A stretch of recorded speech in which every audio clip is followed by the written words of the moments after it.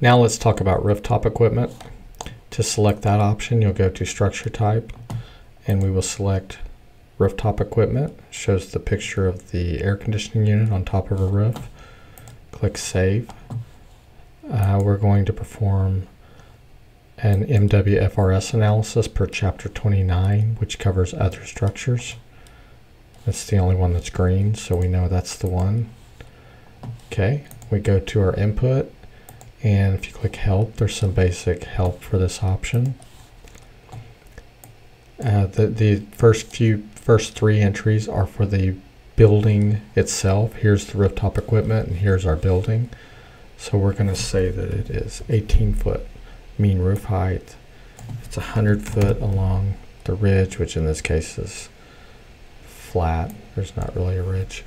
Um, and then 50 feet across.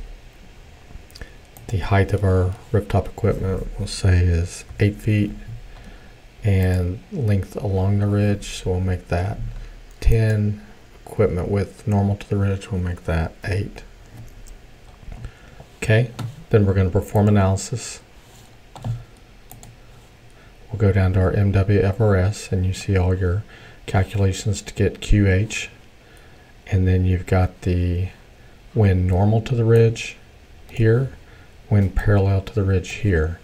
And the software does the calculations to calculate the lateral force and then the uplift force uh, for each condition.